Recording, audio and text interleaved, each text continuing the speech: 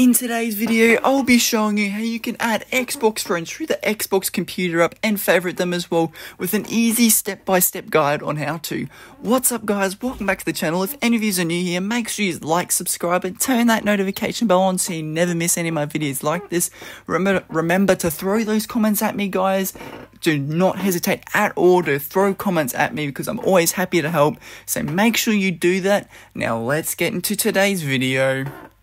So the first thing you want to do, guys, is obviously have the Xbox app open on your computer. And as you can see at the very bottom right, bottom corner, you can see friends. What you can do is click on the up arrow or click on that icon right there. I'm going to click on that icon to show you an example of like a type of friends you can add through Steam.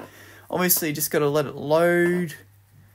There we go. So as it's loaded, you can link your Steam account and add your Steam friends and add friends right through there you can uh, like add also people that also added you there that will pop up through there as well. But if you click on the up arrow and you just type up like for example worthy rpt i've got a second account under that name. You can just search up anyone that you want to add as a friend through the xbox app on your computer and this will transfer over to your console with an easy pretty much like connection like that.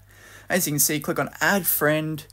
Right there it'll take a bit to register click it again. There we go. I can invite myself to a party and I can favorite myself right there. All you got to do is click on favorite if you want to favorite that friend to let them know that they're online. And that is pretty much it, guys. That's all you got to do to add a friend. It will easily transfer over to your Xbox console since it's all in the Xbox network. But that is pretty much it for today's video, guys. So make sure you like, subscribe, and turn that notification bell on so you never miss any of my videos like this.